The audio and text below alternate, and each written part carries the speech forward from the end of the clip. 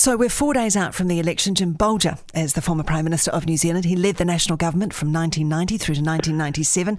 He's with us this morning. Good morning to you, Mr. Bolger. Good morning. Now, in 1993, I remember when you were waiting to confirm whether you'd got that second term or not, you famously said bugger the pollsters, and that was because the result was a lot closer than the polls had suggested. So, Correct. what are you thinking now when you see the polls?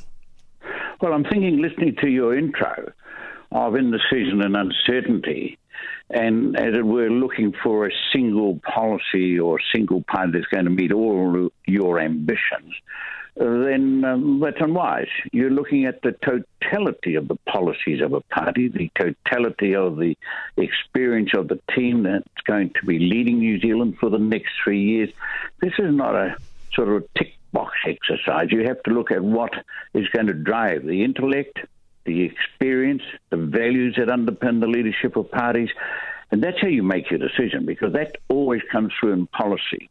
In the next three years, whoever is government will be making more and more policies. And one of the big areas is going to be how New Zealand and countries like New Zealand adjust to the impact of artificial intelligence on the workplace and on people's income. So um, don't look for a simple answer that you can just tick a box beside. Look at the totality of what the options are. And that's very sound advice, Mr. Bolger, but it seems times have changed now as well. I mean, was personality as important in your era as it seems to be now when it comes to electing the next Prime Minister?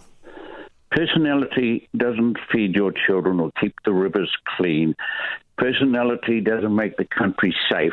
It requires sound leadership, strong intellect, and the right policies. And I think the problem with uh, as it's termed 24 hour a day news, is that um, commentators, even like yourself, are looking for personalities to base all your hopes on. That some person will smile and you think that's the one. You really got to have a more, uh, I think, in depth look at what it is. And you mentioned this whole divide that's developing. I mean, I think tragic between the city and the countryside that uh, makes, I guess, the expression in Morrinsville yesterday of hundreds of farmers coming out and say, don't pick on us. We're very hard-working New Zealanders. They're out there now in the mud and the rain and producing the food with their workers, the transport workers, even the local village and towns are all involved. And somehow or other, they've become uh, the guilty parties for our social conscience. If we think the rivers are not clean enough, we'll blame the farmers. If the sky is not clean, blame the farmers. I mean, I think we've got to have a much more mature approach. Speaking of you know, interesting times and strong personalities and, and what's leading us to vote one way or the other, I want to talk about Winston Peters because you got on well with Mr. Peters while in government. So, so what's well, your advice? I fired well, him as a cabinet minister once. Yes, you did, but yes. you had a reasonably good relationship with him. So, what's your advice to uh, Jacinda Ardern or Bill English uh, when it comes to dealing with Winston Peters if he was to be part of a coalition? Oh, I don't think I'll try and work that out over a telephone conversation this morning.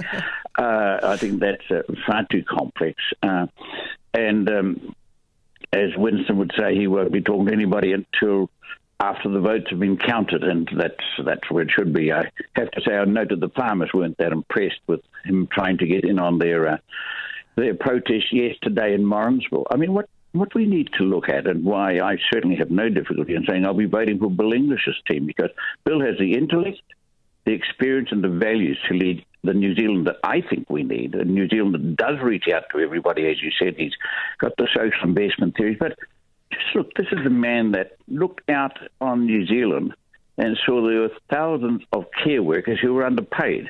So he put through a $2 billion pay package for them. I mean, I want people who are not driven by simple ideology, but people who respond with the right policies when an issue demonstrably needs a response. And I think. Uh, Bill does that. Okay, but he hasn't had a great deal of time to settle into the leadership, has he? I mean, what's your view on John Key's decision to step down when he did? Oh, personal view of John's, and uh, I haven't really discussed it with him, but he uh, he decided uh, he's had enough. Being Prime Minister, and I can say this with some authority, is a very, very tough job. And uh, there are some out there who will certainly have voted and will vote uh, for the Labor leader, who's very inexperienced. to become the leader of New Zealand and the toughest job in New Zealand, and somehow or other think experience doesn't matter. I find that quite bizarre. Others no will CEO say that- would get appointed. No CEO get appointed without experience in the job. Okay. Others will say that she represents a younger generation, the new generation, and she's talking about the issues that are important to that generation, issues such as climate, climate change and inequality, and that's behind her popularity. Well, inequality has to be addressed and has to be addressed on an ongoing basis. There's no day that you reach uh, where you uh, can say, well, that's complete. I've dealt with the issues associated with inequality when I was in Parliament all my time there and as Prime Minister. I mean, but one of the things that won't address inequality is returning to some centralised bargaining system that Labor are talking about of the 70s and 80s when we had endless strikes and stoppages.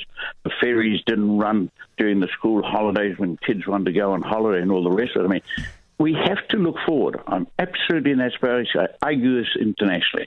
We have to look forward. As I mentioned earlier, artificial intelligence. This is going to change the world of work.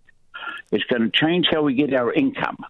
It's going to change everything we sort of understand from the past, and we now have to move into a different space. So, uh, looking forward, you could argue the argument that I've put forward in international conferences and elsewhere is on the Yes. environment that Mother Earth doesn't need humans. Doesn't. All right, Mother Jim. Earth is very happy, Jim- but we New Zealanders, we humans, need Mother Earth, and we Jim, have to Jim have Bolger, we've got to leave it there. But thank you for your analysis. Thank you so much.